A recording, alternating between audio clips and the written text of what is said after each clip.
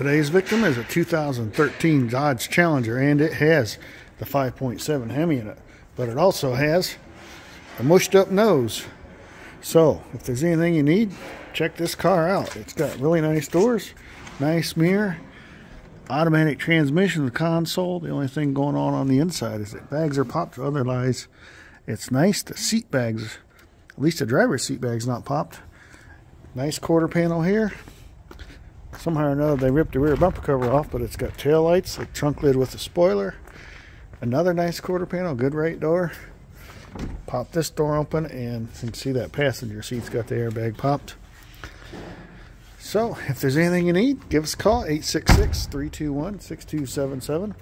LS Swap Parts on the internet. And if you use a parts search, just type in the year year Challenger and the name Challenger and whatever part you're looking for, and it'll pop up.